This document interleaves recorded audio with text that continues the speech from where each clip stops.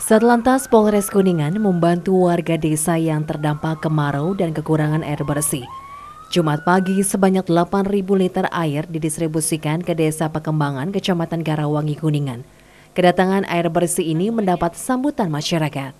Kapolres Kuningan AKBP Willy Andrian melalui Kasat Lantas AKP Sigit Suhartanto menjelaskan, Kegiatan bakti sosial jajaran Polantas ini merupakan rangkaian dalam menyambut hari ulang tahun lalu lintas ke-69 tahun 2024. Air diangkut menggunakan dua truk tangki dari Perumda Tirta Kamuning atau PDAM Kuningan. Setiba di lokasi, puluhan warga tampak mempersiapkan media penampung air. Selain ember, warga menggunakan galon air mineral yang disusun membentuk antrian.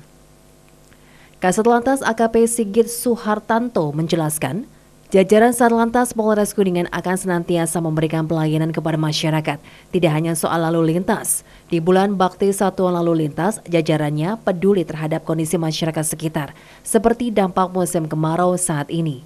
Kegiatan Bakso Satlantas mendapat apresiasi dari warga Desa Pakembangan yang terdampak kemarau. Warga mengungkapkan kekurangan pasokan air terjadi belakangan ini. Sumber air seperti sumur yang biasa dimanfaatkan untuk kebutuhan sehari-hari mulai mengering dengan persediaan air yang terus berkurang.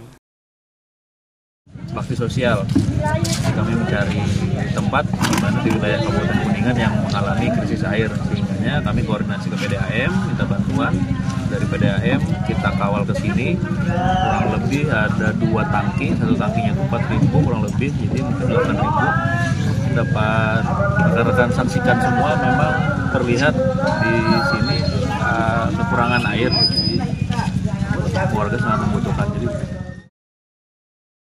Bubut Sihabudin RCTV Kuningan